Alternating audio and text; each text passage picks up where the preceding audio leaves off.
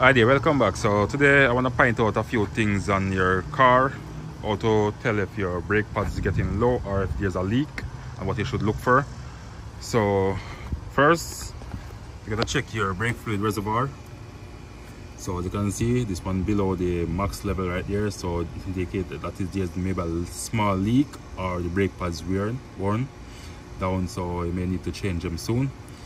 Or it could be a leak behind the uh, how we call it master cylinder so what you can do take a light and shine it around the booster and see if you see any um, oil sweat there or sometimes it can leak and go down in the booster or you can check the wheels go right around and make sure all the wheels are dry. All the way around right around the car you go to the rear as well. You check to make sure there is no leak. Check all four wheels. There's no leak. All right so if you check and realize that there's no leak all you need to do go to a technician if you cannot do it yourself. Um, let them check your brake pads to see what is going on and replace them if needed guys.